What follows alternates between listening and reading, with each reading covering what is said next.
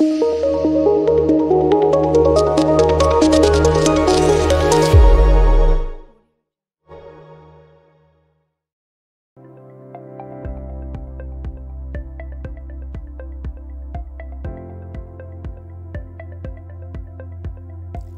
everyone, you doing?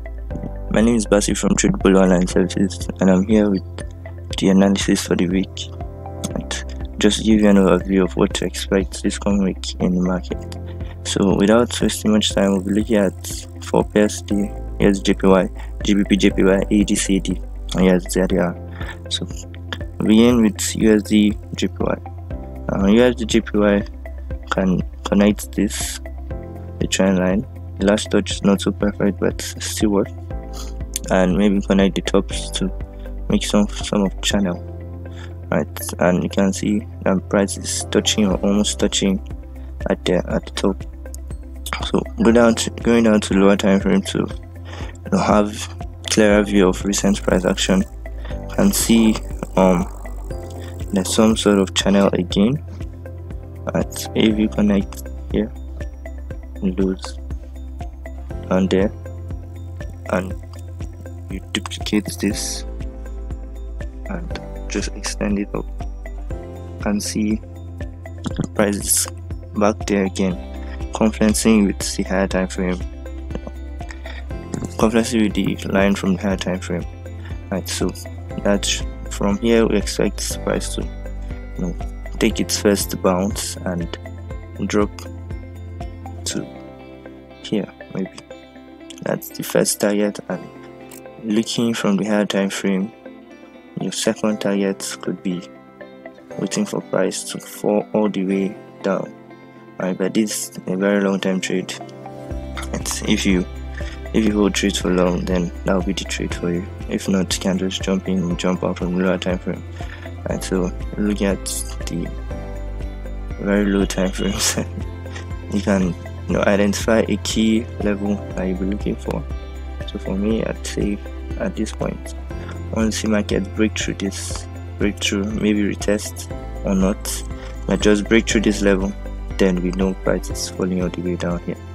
Right, so that's my view on usd jpy and now we'll be moving on to next pair that's gbp jpy and start from the higher time frames you can see that we have some sort of ranging market around this area it was from an uptrend book structure expected downtrend but market seems to be ranging I have equal lows here and just mark that out equal lows there and equal highs too right. oh yeah. yeah. have one three one three you see that price is back up at the top there so we're expecting it to drop down here we could have it have a false breakout or not but we expect price to fall way down here. So you go down to lower time frames just keep your eyes peeled. So we have this uptrend right? And then from here you could be waiting for price to actually break through this last loop. And then you know price breaks through there. Maybe comes up again and then fall all the way down. I want to see breaking my head structure around that level around here before you know confirm my entry. So don't enter the trade without seeing a breaking structure because you know it's still an uptrend price could still continue going up. And once that breaking structure happens then we know it's coming down. Right.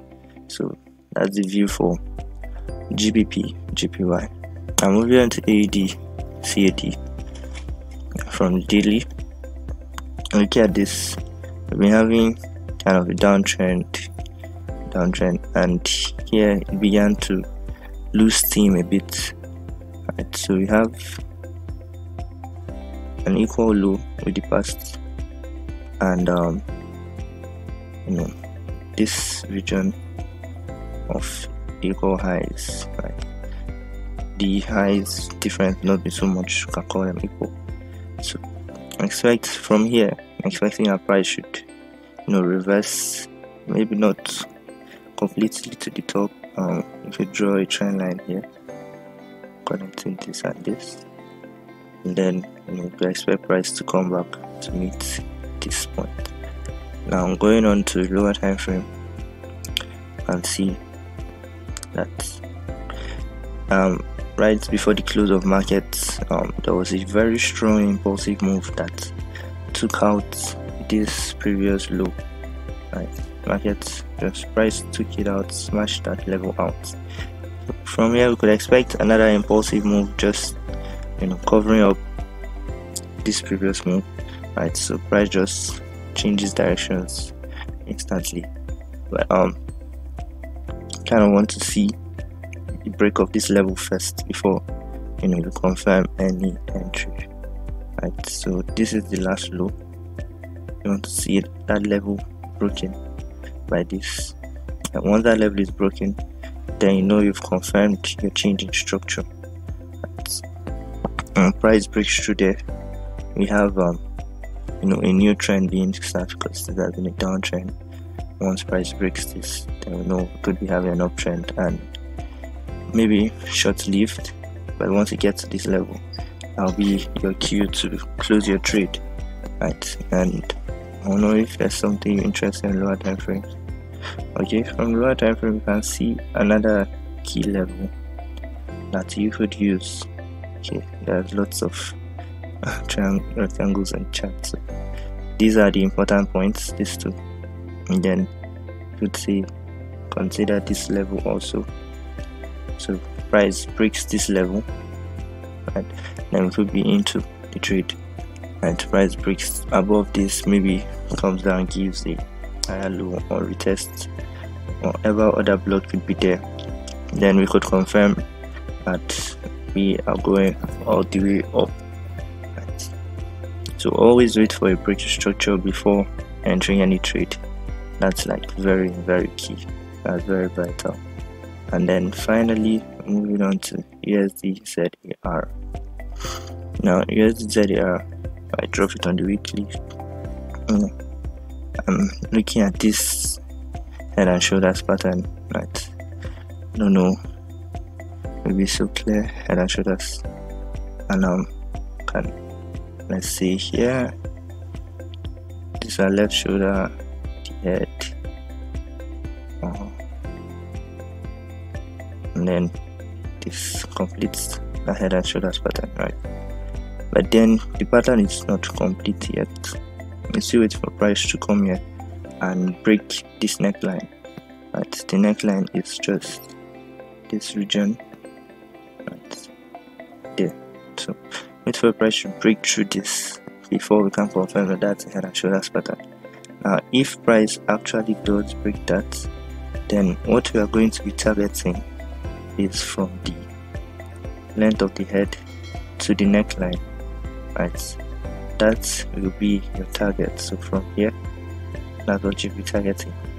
Once the neckline is broken then this level is where you're looking to take your profits at. This level. Now like i said it's not yet confirmed. I still waiting for price. So if we move on to lower time frame can see